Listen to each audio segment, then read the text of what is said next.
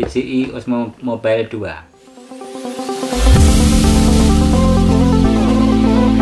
Halo YouTube ketemu lagi dengan saya di channel Yudik Eni.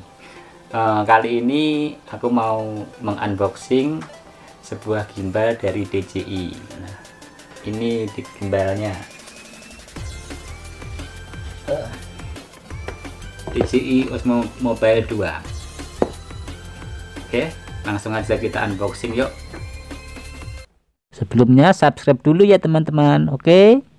thank you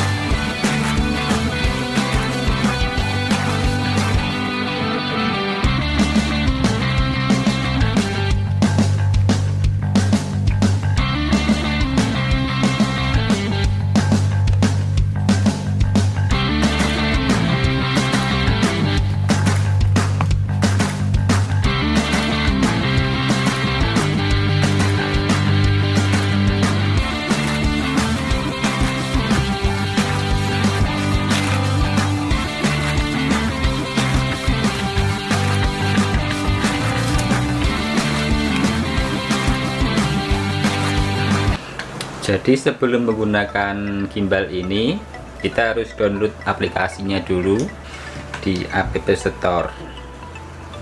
Bentar saya download dulu. Seperti ini. Nggak fokus.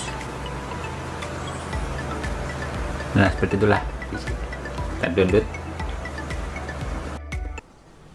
Gimbal ini terbuat dari bahan plastik dan memiliki panjang 25 cm kurang lebih dan memiliki berat kurang lebih 500 gram. Gimbal ini sudah memiliki fitur auto tracking, motion lapse, time lapse, dan hyperlapse. Dengan adanya fitur-fitur tersebut, mempermudah kita dalam membuat video. Dan harga gimbal ini di Korea dibanderol dengan harga 165.000 won.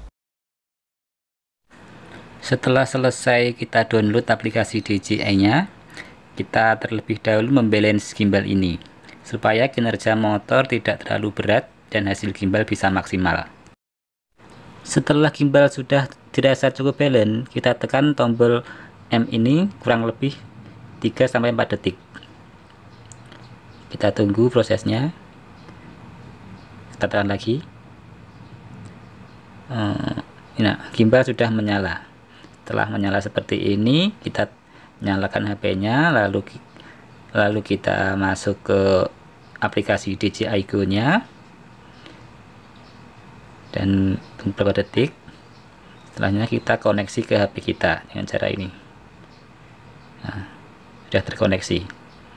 Untuk mengetesnya kita tekan tombol zoom in atau zoom out nya seperti ini dan kan tombolnya ke bawah ke atas ke kanan dan ke kiri. Kalau sudah begini berarti gimbal kita sudah terkoneksi dengan HP kita